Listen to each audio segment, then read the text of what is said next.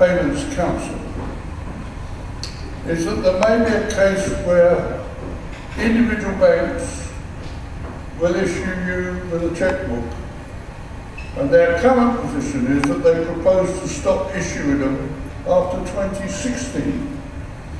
So you'll have to do miracles to get a checkbook after 2016.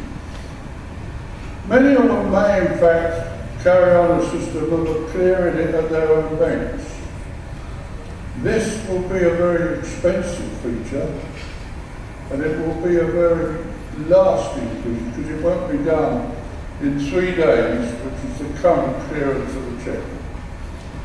And my suspicion is that they might start charging you for that service. I.e. that when you buy, get a checkbook, you'll pay a sum of money for it. So it's a very difficult era.